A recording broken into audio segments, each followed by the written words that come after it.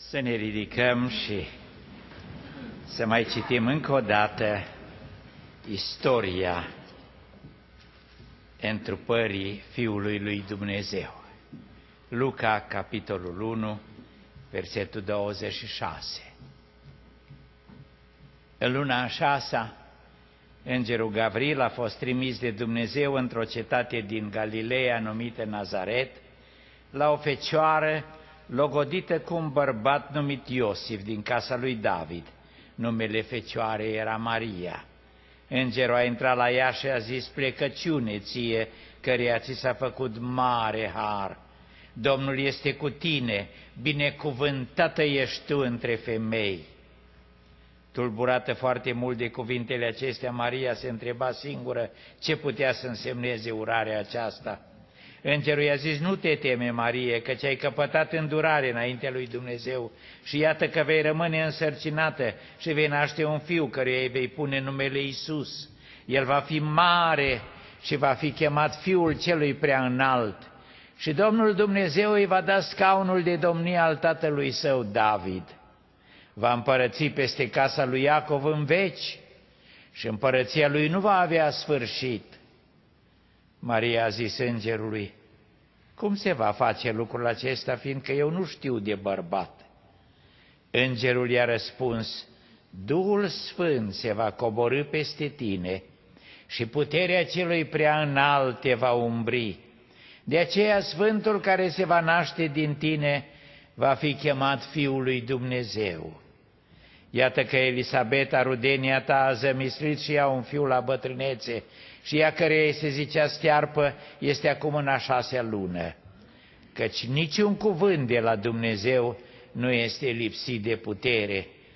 Maria a zis, iată roaba Domnului, facă-mi se după cuvintele tale. Și îngerul a plecat de la ea. Amin. Doamne,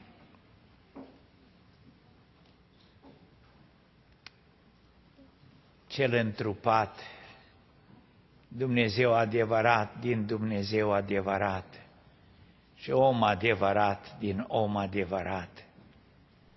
Doamne Iisuse Hristoase, care stai la dreapta lui Dumnezeu, ne închinăm ție cu cuvintele apostolului tău Toma, Domnul meu și Dumnezeul meu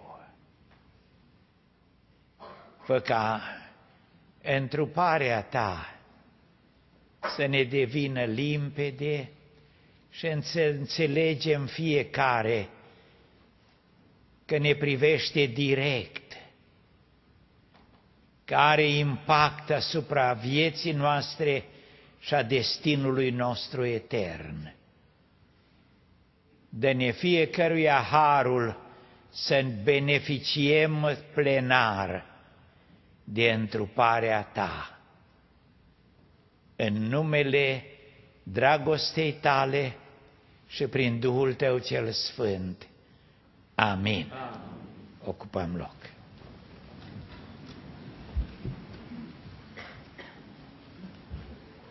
După vreme de furtună și de greutăți, iată că astăzi Dumnezeu ne-a binecuvântat dimineață cu un concert superb al corului tineretului și după masa aceasta cu un alt concert, tot așa de minunat, al corului mare. Încă o dată mulțumim lui Dumnezeu că a pus în biserica aceasta atâtea talente, atâția cântăreți minunați, atâția dirijori minunați, Mulțumim lui Dumnezeu pentru fratele Iovan Miclea, creator de muzică superbă. Și dacă îl pomenim pe dânsul, nu se poate să nu pomenim și pe soția dânsului, pe Ligia, care ne încântă cu atâta poezie.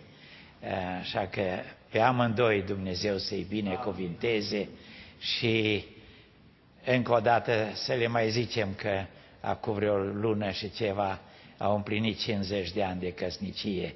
Domnul să-i binecuvinteze uh, și să-i țină cu sănătate între noi. Domnul Isus s-a născut dintr-o fecioară. De ce? De ce trebuia să se nască Domnul Isus dintr-o fecioară? De ce nu s-a născut într-un mod normal, așa cum ne naștem fiecare? În teologia catolică, și de acolo și în cea ortodoxă, s-au făcut tot felul de teorii în privința aceasta. Pornind de la faptul că ei cred că însuși actul unirii între un bărbat și o femeie e un act păcătos, doar tolerat de Dumnezeu pentru procreație. Și nu se putea ca Fiul lui Dumnezeu să se nască în felul acesta.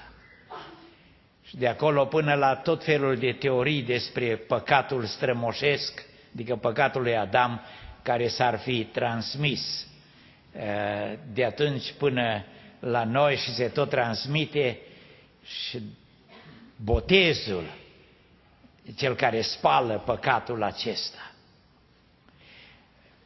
Ca să nu fie corupție în Domnul Isus, Fecioara Maria, ea însăși s-a născut cu o concepție imaculată și a fost cu totul specială și în felul acesta corupția care a pătruns în omenire în ea nu a existat. Cam aici sunt explicațiile teologiei catolice și ortodoxe referitor la nașterea din fecioară. Vreau să spun că sunt atâtea lucruri în astea care nu sunt după Biblie, care aduse acolo din afară. Noi totdeauna când căutăm să găsim ceva, ne ducem direct la Sfânta Scriptură și înțelegem de acolo ce ne spune Dumnezeu. Atunci, ce găsim în Sfânta Scriptură ca un răspuns la întrebarea de ce a trebuit să se nască Domnul Isus dintr-o fecioară? În primul rând, dacă dăm doar două foi mai departe la Luca, la capitolul 3, la partea din urmă găsim genealogia Domnului Isus, adică spița lui de neam. Matei ne-o dă numai până la Avraam. Luca face ceva în plus. Ne dă genealogia Domnului Isus până la Adam. Și încheie în versetul 38 cu aceste cuvinte, fiul lui Enos, care era fiul lui Set, care era fiul lui Adam, care era fiul lui Dumnezeu. Adam era fiul lui Dumnezeu. Pentru că Dumnezeu i-a plămădit trupul cu mâinile lui. Și Dumnezeu a suflat în el suflare de viață. Adam a fost fiul lui Dumnezeu. Prin Domnul Isus, Dumnezeu iniția o nouă rasă umană, un nou început în omenire. Un nou fel de omenire, definit de Apostolul Pavel în 2 Corinteni 5 cu 17. Dacă este cineva în Hristos, deci dacă este cineva unit cu Hristos, el este o făptură nouă, spune traducerea Cornilescu. Mai exact, el este o nouă creație. Dumnezeu prin Hristos face o nouă creație.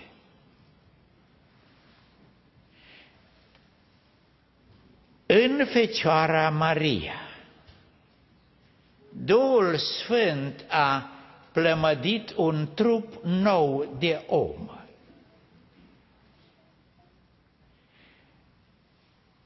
Un nou început de omenire. Și ca să înțelegem de ce și care e planul lui Dumnezeu, ne ducem la Evanghelia după Ioan, la capitolul 1. La început era cuvântul și cuvântul era cu Dumnezeu și cuvântul era Dumnezeu. Și cuvântul s-a făcut trup. El când intră în lume, spune în Evrei 10, zice, Doamne, Tu mi-ai pregătit un trup. Și în trupul acesta eu viu să fac voia Ta, Dumnezeule. Acum auziți ce ne spune Evanghelistul Ioan. A venit la ai săi, ai săi nu l-au primit.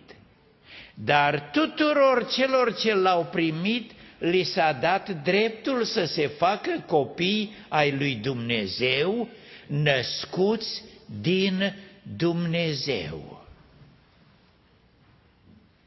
Domnul Isus a fost născut din Dumnezeu. Și El a venit să-și facă frați. Ideea e întregită de Apostolul Pavel în Romani 8 cu 29. Din veșnicie Dumnezeu a predestinat să fim făcuți asemenea chipului Fiului Său, pentru ca El, singurul născut din Tatăl, să devină doar cel născut dintre mai mulți frați cel din tâi născut dintre mai mulți frați. Are legătură cu viața mea și a ta. Pentru că atunci când l-a plămădit, l-a făcut Dumnezeu pe Domnul Isus în Fecioara Maria, El a spus, ăsta e începutul e primul rod din noua omenire și după el vin toți ceilalți care alcătuiesc această nouă creație. Oameni născuți din Dumnezeu. Iată de ce atunci când a venit noaptea la Domnul Isus, acel mare conducător din Israel, Nicodim, primul lucru care i l-a spus Domnul Isus, i-a spus, Nicodim, trebuie să te mai naști odată. Doamne, ferește! Cum se poate asta? Te-ai născut omenește odată. Acum trebuie să te naști de sus. Trebuie să te naști din Duhul Sfânt. În, Apost- în Romani 8 cu, 14, cu 16, Apostolul Pavel îi spune Duhului Sfânt, Duhul înfierii. În limba greacă, huiothesia. Punerea în starea de fi. Duhul care are capacitatea de a crea fii. Duhul Sfânt a umbrit-o pe Maria și l-a născut pe Fiul lui Dumnezeu. Și Duhul Sfânt ne umbrește pe noi și ne naște din Dumnezeu și ne face fii ai lui Dumnezeu și frați ai Domnului Isus. Minunea aceasta trebuie să o înțelegem. De ce a trebuit să se nască Domnul Isus dintr-o fecioară? Pentru că Dumnezeu iniția acum o nouă omenire. Pentru că de acum încolo Duhul lui Dumnezeu urma să vină peste mulți alții. Și cel care era singurul născut din Tatăl să devină doar cel din tâi născut dintre mai mulți frați. Minunea aceasta trebuie să o înțelegem noi, că noi suntem chemați să devenim frați cu Fiul lui Dumnezeu, frați cu Domnul Isus. Acum, nu-i suficient să spunem asta. Sunt încă câteva lucruri pe care trebuie să le punem în seara aceasta ca bază a gândirii noastre. Ce înseamnă să fiu fiu de Dumnezeu? Evreii s-au scandalizat când în Ioan capitolul 5 Domnul Isus vorbește ca fiu de Dumnezeu. Și au vrut să-l omoare pentru că se făcea pe sine egal cu Dumnezeu. așa e. Dar vreau să știți ce înseamnă să fii fiu de Dumnezeu. Aici trebuie să fim atenți, că asta spune dacă ești fiu de Dumnezeu sau nu. Fiul nu face nimic fără de tata. Ioan 5 cu 19. Fiul nu poate face ceva fără de tata. Și fiul nu face decât ce-l vede pe tata că face. Pentru că fiul, în absolut tot ce face, face voia tatălui său. Fiul niciodată nu zice, acum vreau să fac asta, acum vreau să fac asta. Fiul întotdeauna zice, aici ce vrea tata? Cum vrea tata să fiu? Băgați de seamă, e cea mai mare minune pe care o putem concepe, să fi născut din Dumnezeu.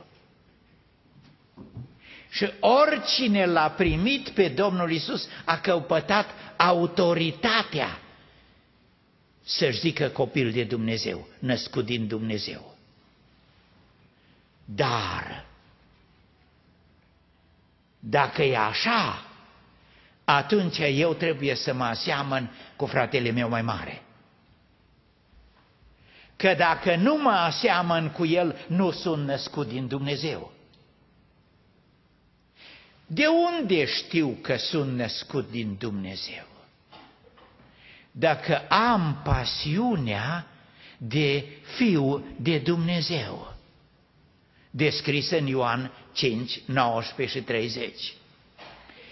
Tot timpul sunt cu ochii la tata. Nu pot să fac ceva fără de tata. Doresc să limit pe tata, să fiu ca tata pentru că vreau ca în toate să fac voia lui Tată. Aceasta e mentalitatea de fi de Dumnezeu. Acum, Domnul Isus a venit pe pământ cu acest scop fundamental. Vreau să-i fac lui tata mai mulți fii ca mine care seamănă cu mine. Eu încep acum familia lui Dumnezeu. Și ce a făcut el? S-a dus și și-a luat un grup de oameni. Și a început cu ei școală. Veniți în școala mea. El le-a spus ucenici. Ucenici în sensul bătrânii mai cunosc ardelenii numele de inaș. meseriașii de la noi își luau ucenici. Și ani de zile erai, trăiai în casa meseriașului și erai un fel de scluga lui și robul lui, până te învăța meseria lui. Când știai total meseria lui, erai declarat calfă. Și după aia calfa își putea face atelierul lui și să-și iei el uh, ucenici. Ucenici în sensul de elevi sau studenți. Veniți în școala mea. În Luca 6 cu 40, Domnul Iisus spune, orice ucenic desăvârșit este ca învățătorul lui. Traduceți altfel. Orice ucenic care a absolvit școala este exact ca învățătorul lui. Și în ziua în care au absolvit școala, i-a legat de sine prin dragoste și le-a spus, dacă mă iubiți, veți trăi după învățătura pe care v-am dat-o. Semnul că suntem una e acesta. Mă iubiți și trăiți după învățătura pe care v-am dat-o. Și aflați că până astăzi ați fost robi. V-am tratat ca, așa cum tratează un rabin pe ucenicii lui, ca pe robi.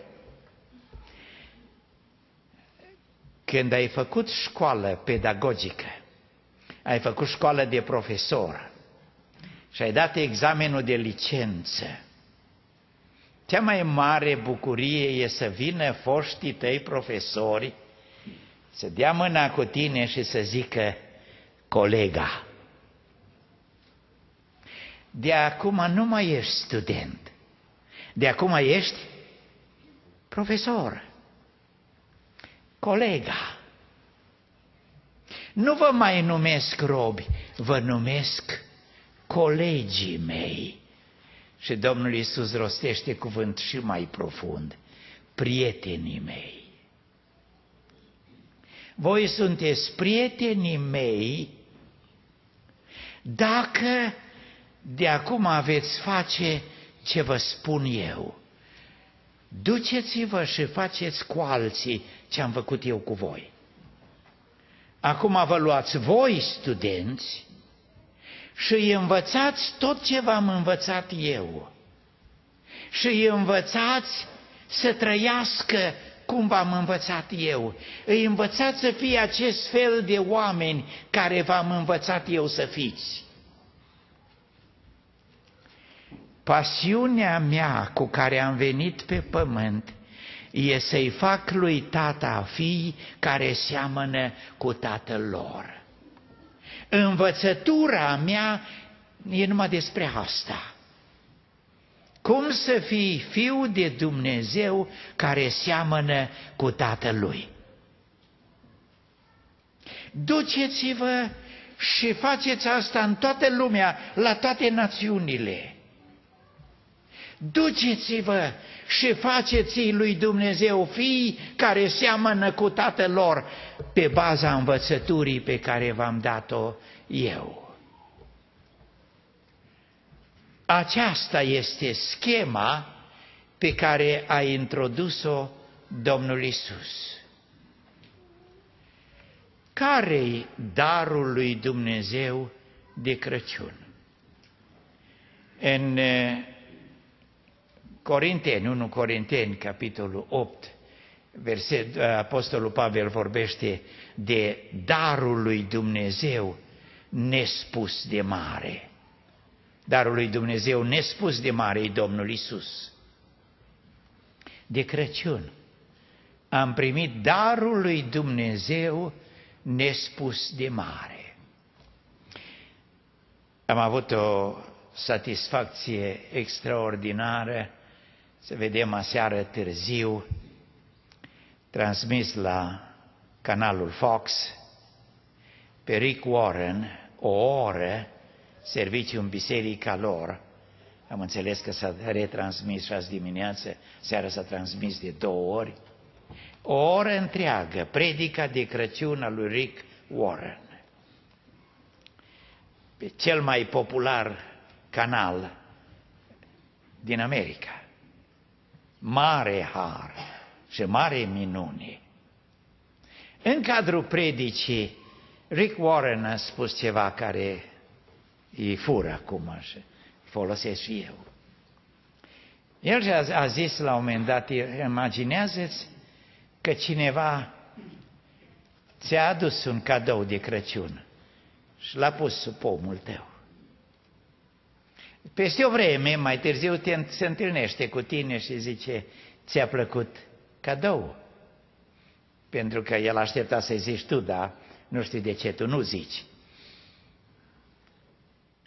Și tu, oarecum ambarasat, spui, știi ce, am fost ocupat și n-am avut timp să-l deschid încă.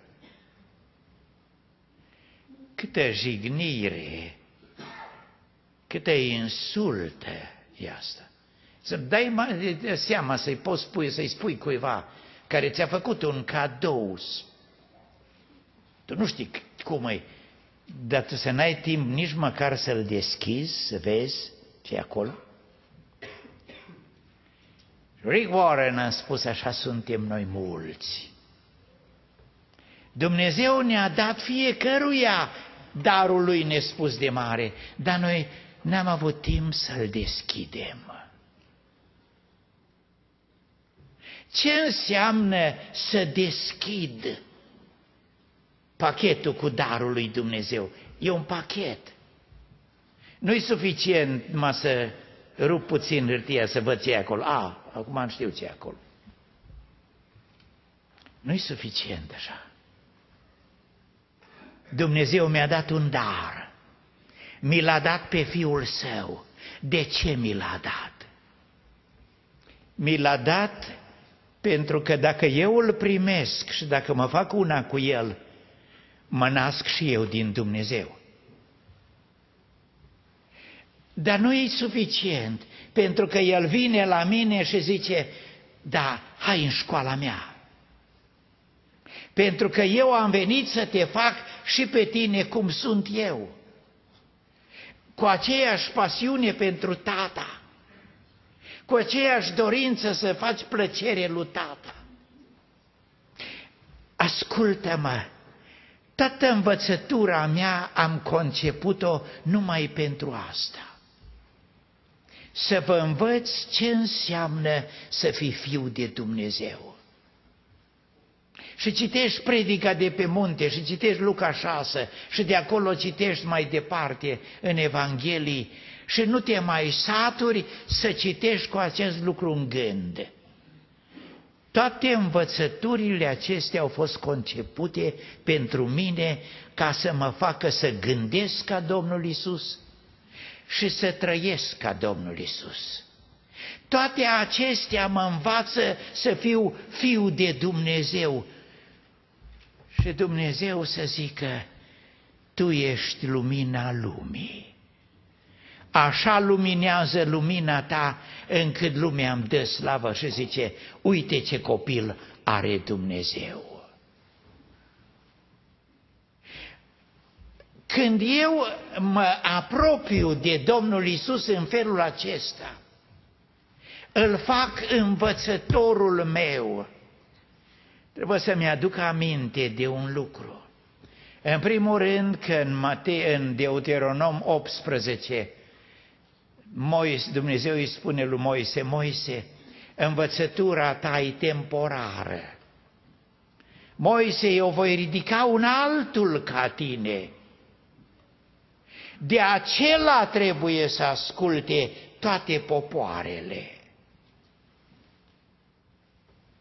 Și cuvintele acestea le repetă Dumnezeu la schimbarea la față. Acesta este Fiul meu, de El să ascultați. Când Petru e bătrân și scrie a doua lui epistolă, și când vrea să le spună oamenilor, oameni buni, învățătura care vă dăm noi, nu se bazează pe legende. Învățătura aceasta vă dăm pentru că pe muntele cel sfânt l-am auzit pe Dumnezeu zicând, acesta e fiul meu. Și același Petru, în faptele capitolul 3, le spune conducătorilor din Ierusalim, vă amintiți ce ne-a spus Moise? Că Dumnezeu va ridica pe un altul și să ascultăm de el, să știți că Isus e acela. De el să ascultați, ne zice Dumnezeu. Darul lui Dumnezeu nespus de mare e un învățător de care trebuie să ascult. Dacă m-am unit cu El, dacă m-am născut și eu din Dumnezeu, în primul rând sunt copleșit de gândul că așa cum Domnul Isus a fost plămădit de Duhul Sfânt în Fecioara Maria, așa am fost și eu născut din Dumnezeu prin Duhul Sfânt și am căpătat dreptul să mă numesc copil al lui Dumnezeu, născut din Dumnezeu.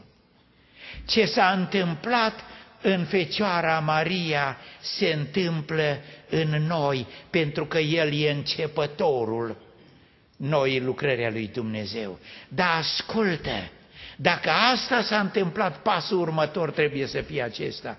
Eu am devenit ucenicul Domnului Isus, elevului, studentului. De acum pasiunea mea e să învăț de la Domnul Isus ce înseamnă Fiul de Dumnezeu. Și dacă învăț asta, treptat, treptat, pot să spun tuturora,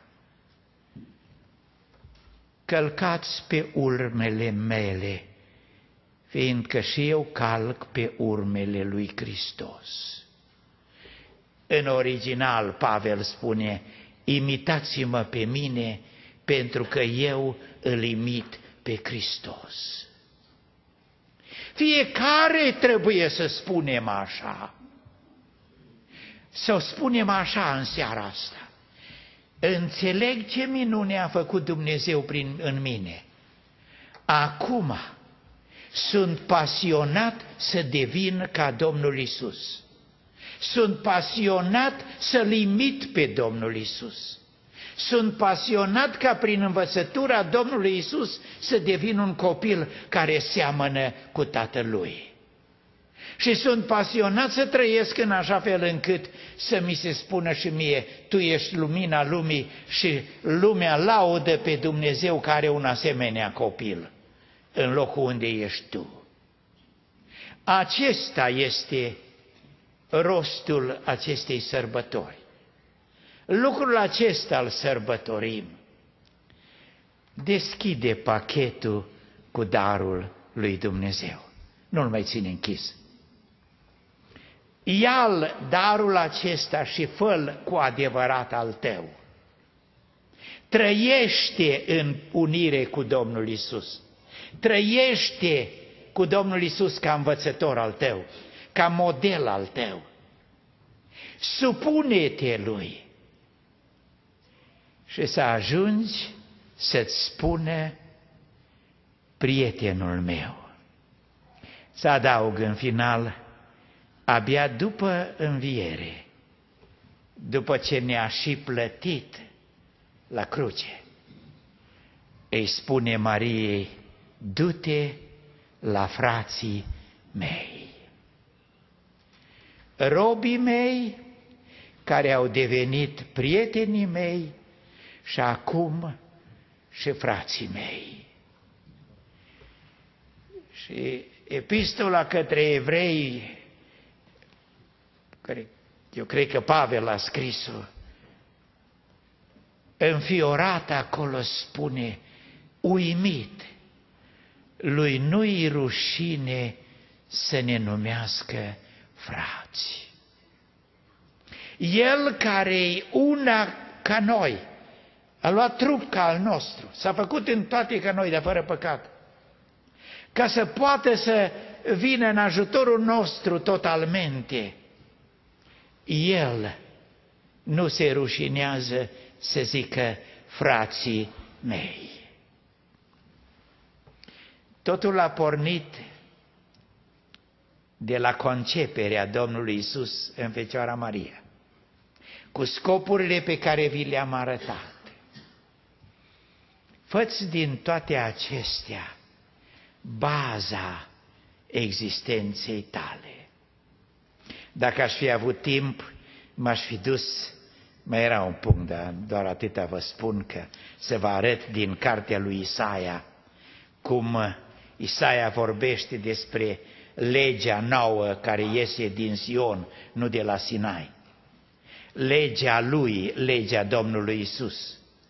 Și toate insulele pământului vor nădăjdui în legea lui, Isaia 42 cu 4. A nădăjdui în legea lui, a nădăjdui aici înseamnă își fac din ea baza. Nădejdea mea e ce gândesc eu despre viitor. Cum privesc eu viitorul? Viitorul meu e clădit pe cuvintele Domnului Isus care zice, cine ia aceste cuvinte și le face și a zidit casa pe stâncă. Legea Domnului Isus. Eu nu sunt fără o lege, spune Pavel, ci sunt sub legea lui Hristos. Legea, în ebraică e Tora, de fapt înseamnă învățătura. Învățătura Domnului Isus e legea mea, e principiul meu, e călăuza mea, e baza mea. Domnul Isus nu se rușinează să-mi spună prietenul meu și fratele meu. Și eu am învățat de la el că a fi fiul al lui Dumnezeu înseamnă să fiu pasionat pentru Dumnezeu să se facă în viața mea voia Lui și eu să trăiesc în unire cu El și să seamăn cu El. Pentru fiecare dintre noi, Dumnezeu să facă toate astea să fie reale în noi, în fiecare. Amin.